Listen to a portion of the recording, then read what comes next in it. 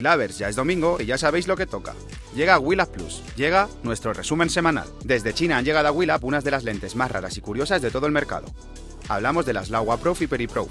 Se trata de unas lentes macro de 24 mm full frame.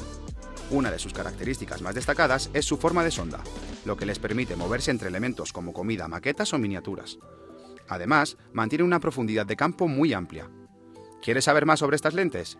No dudes en ver nuestro nuevo vídeo técnico en willapplus.com.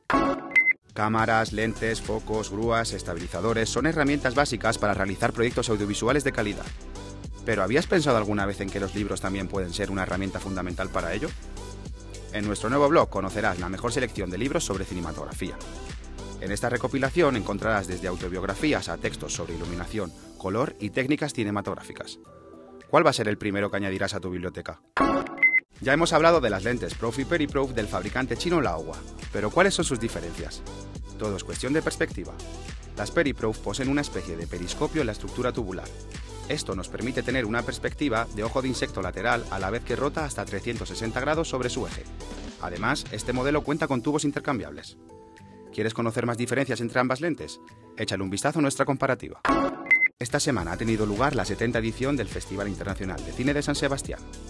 Uno de los proyectos presentados ha sido La Ruta, rodada con equipos Willa.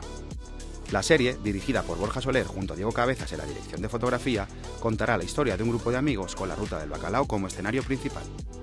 Para el rodaje se utilizaron dos Sony Venice, un set de lentes Angenier Prime y un set de lentes Leica R Cinescope TLS, disponibles en nuestro catálogo. Todos, claro está, equipos Willab. Y así ha sido nuestra semana Willavers. El próximo domingo más. ¿Dónde si no? En Willab Plus.